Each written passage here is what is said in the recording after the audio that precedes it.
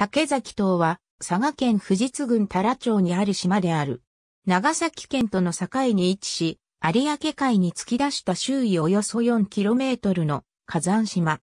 元は陸続きだったが、第4期更新予の噴火によりできた島と考えられている。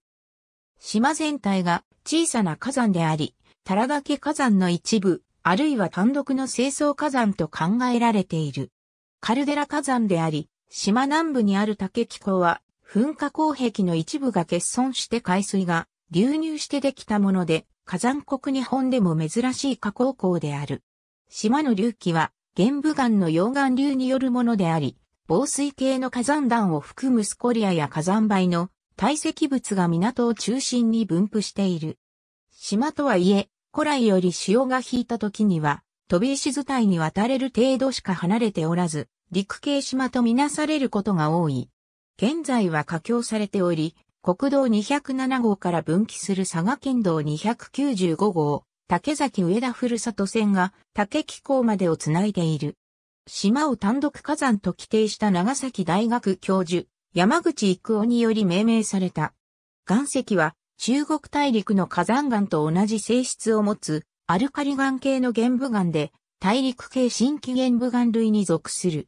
火山により火山弾、火山灰の噴出と溶岩の流出が交互に繰り返され、誤層を作った後、玄武岩溶岩が20メートル以上流出して小規模な溶岩台地を形成している。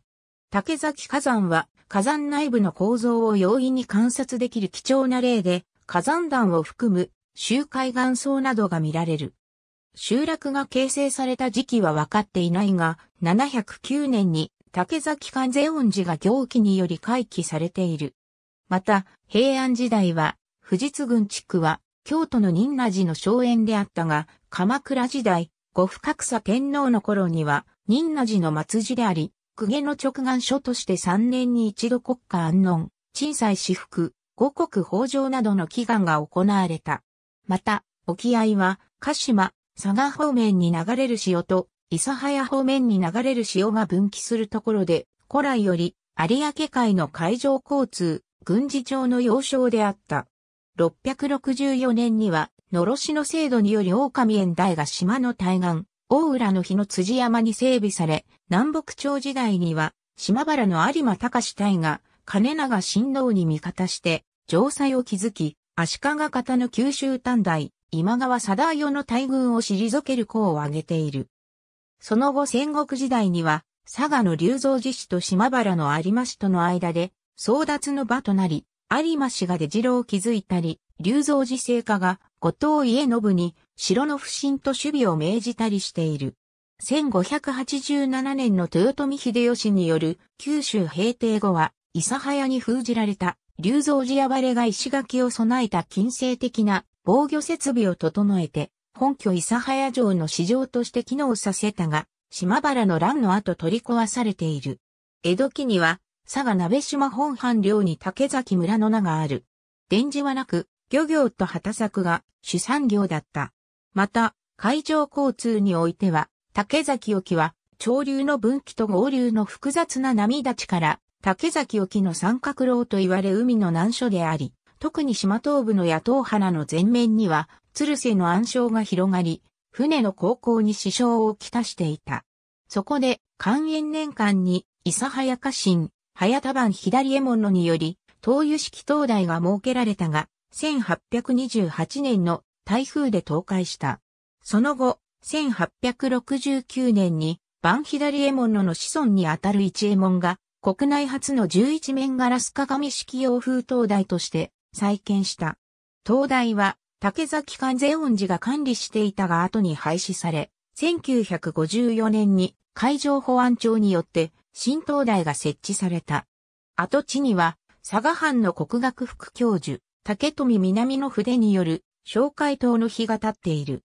現代でも島の主要産業は漁業であり、特に竹崎ガニのブランドで知られるガザミや平木漁が盛ん。また、温泉の採掘にも成功し、観光地としても栄えている。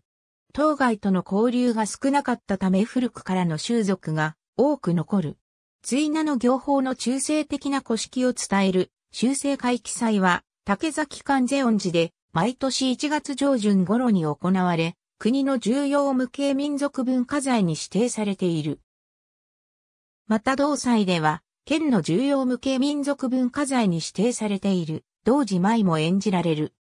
他にも不社会の古式と言われる、竹崎演座祭、1300年以上の歴史がある、お蝶図の的入りなどのほか、もぐら打ちや流れ感情、鬼ひたきなど伝統的な民族芸能の宝庫となっている。これらは、その源流を平安時代の宗教的民族風習に求められ、当時から民衆との間に信仰が広がっていたことが推察できる。